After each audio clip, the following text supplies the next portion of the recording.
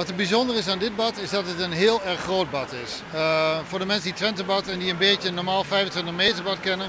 Dit bad is 2,5 keer zo groot als ons gewone wedstrijdbad. Maar het is een oude buitenbad, dus dat moeten we missen, de mensen in Hengelo.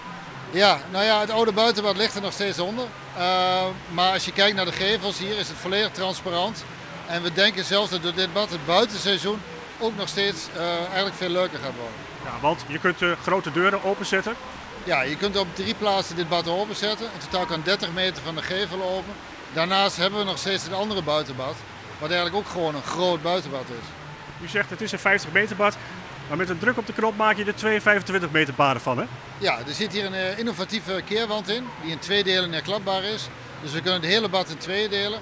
Maar we kunnen ook vijf banen in drie banen delen, zodat je hier korte baan en lange baan trainingen tegelijk kunt doen. Aanwinst voor de stad, aanwinst voor de regio, aanwinst voor Oost-Nederland. Dat is een uniek bad. 50 meter vind je hier niet in de omgeving.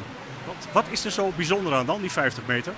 Nou ja, daarmee kun je ook echt topzwemmen hier naartoe halen. Uh, we hebben ook al de, de zwembond die zegt we willen hier gaan trainen, een regionaal trainingscentrum opzetten. En we zien ook dat uh, getalenteerde jeugd niet meer weg hoeft. Dat gebeurde in het verleden wel. Die gingen naar Zwolle, die gingen naar Eindhoven. Kunnen nu hier in Twente blijven. Dus het is niet alleen belangrijk voor de jeugd, het is ook belangrijk voor bedrijven. Die zeggen van, hé, hey, is Twente een goede investeringsplek? Ja, die voorziening hebben we hier. Vertel eens, hoe is het, uh, het nieuwe bad? Ja, lekker. Ja, het is ja, ja, wel een beetje zwaar. Ken je het oude bad ook nog wel? Ja, maar nu niet meer. En de vereniging is blij hè, dat ze hier weer kunnen zwemmen. Ja, heel erg. Ja, want vertel eens. Ja, nu kunnen we hier wedstrijden organiseren en uh, hoeven niet helemaal terug naar, helemaal naar Nijmegen en uh, andere steden. Vertel eens, hoe is het bad? Uh, vies. Vies? ja. Nee, het smaakt nog niet helemaal lekker, maar het zwemt wel lekker. Ja. En ken je het bad van vroeger ook nog wel, toen het ja, nog niet overdekt was? Ja, ja, zeker. Dat ken ik nog wel, ja. Maar dit is toch wel beter hoor. Is er, is er een groot verschil met de blaashal? Uh, ja, hier is het een stuk minder benauwd. En ik vind het toch wel een mooie bad. Ja, zeker. En het water? Ja, dat is hetzelfde toch? Ja, ah, je merkt wel dat het snel water is hoor. Hier worden echt toptijden gezongen, denk ik.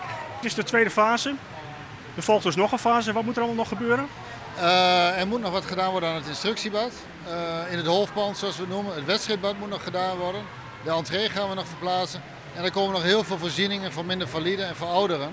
Uh, in nieuwe kleedkamers, in, uh, in de horeca, de hele douches worden vervangen. Uh, nog veel duurzaamheidsmaatregelen, dus er moet eigenlijk nog heel veel gebeuren. Ja, dit was de ingebruikname, want de officiële opening die volgt nog wel. De puntjes moeten nog op de i, hè? ook in dit bad. Ja, als je in de, naar de details kijkt moet er nog best wel veel gebeuren. Dat is van inrichting, tribunes, lijnen moeten allemaal nog geleverd worden.